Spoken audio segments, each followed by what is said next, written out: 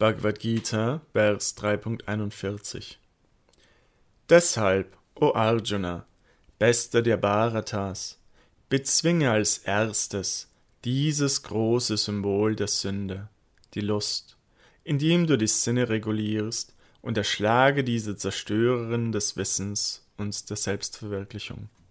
Erklärung.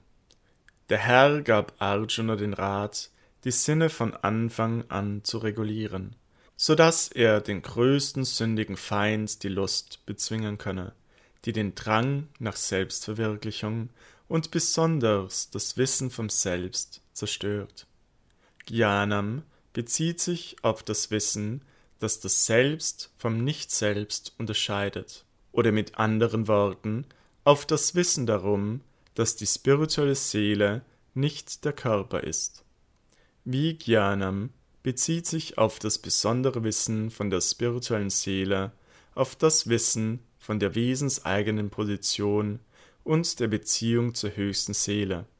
Dies wird im Srimad Bhagavatam wie folgt erklärt.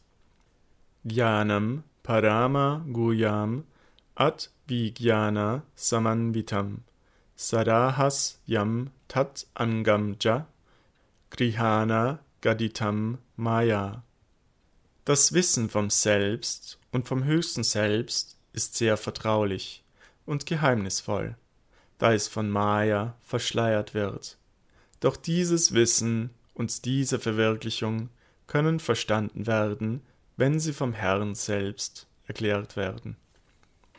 Die Bhagavad Gita gibt uns dieses Wissen, besonders das Wissen vom Selbst.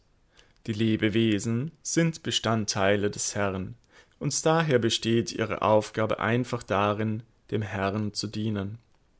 Dieses Bewusstsein wird Krishna-Bewusstsein genannt.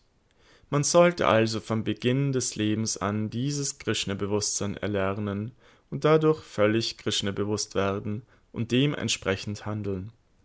Lust ist nichts anderes als nur die verzerrte Spiegelung der Liebe zu Gott, die für jedes Lebewesen natürlich ist.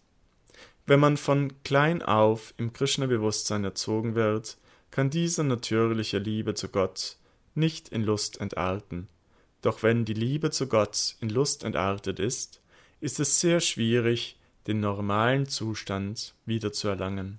Nichtsdestoweniger ist Krishna-Bewusstsein so mächtig, dass selbst ein Mensch, der später beginnt, lernen kann, Gott zu lieben, indem er den regulierenden Prinzipien des hingebungsvollen Dienens folgt. Man kann also auf jeder Stufe des Lebens, beziehungsweise dann, wenn man die dringende Notwendigkeit einsieht, beginnen, seine Sinne im hingebungsvollen Dienst des Herrn zu kontrollieren und so die Lust in Liebe zu Gott umwandeln, der höchsten Vollkommenheit des menschlichen Lebens.